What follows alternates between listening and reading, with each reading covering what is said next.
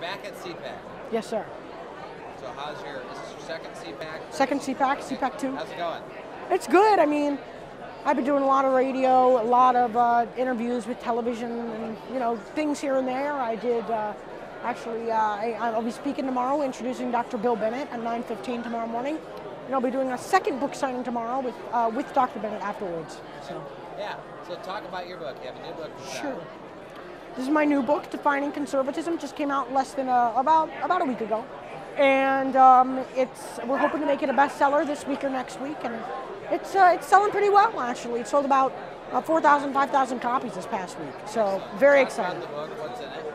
Well, uh, the book is really discussing what are the principles that unite not just libertarians or neoconservatives or Straussians or paleoconservatives or, uh, or social conservatives or fiscal conservatives, but what unites all conservatives.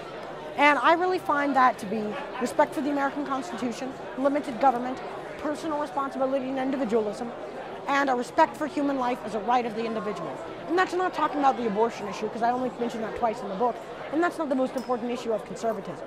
No, when I mean right, a respect for human life, that's respecting the right of every individual, no matter um, who they are, that they have a right to life.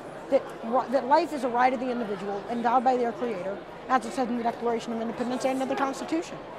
So since we were here last year, the whole Tea Party movement has happened. How do Yeah. you, what do you think of that? How does that fit in, in Well, the whole conservatism? I think that I think that that's a good question. The Tea Party movement is the epitome of what conservatism is today. It's promoting conservative values to be a check and balance for the Republican Party, especially, and also for other members of Congress. We saw it with uh, Scott Brown getting elected in Massachusetts. The people didn't want health care, so when Scott Brown, so when it came up for time for election, they elected somebody that would stop it, Scott Brown. And I think that uh, that's kind of where the Tea Party is right now. It's, and, and I think with the contract from America, which I'm a part of, I'm working with that group, uh, with Tea Party Patriots, which is putting together Contract from America.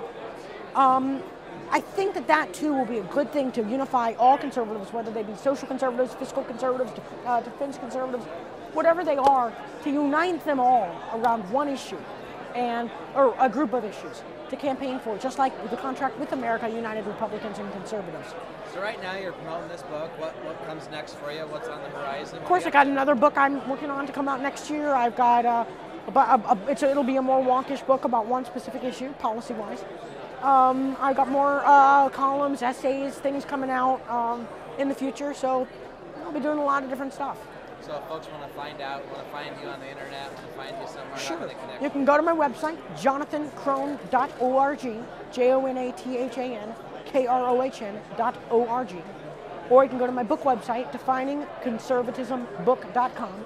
Or you can go, if you want to order the book, you can go to amazon.com, barnesandnoble.com, borders.com, booksamillion.com, or order it at your, or buy it at your local bookstore.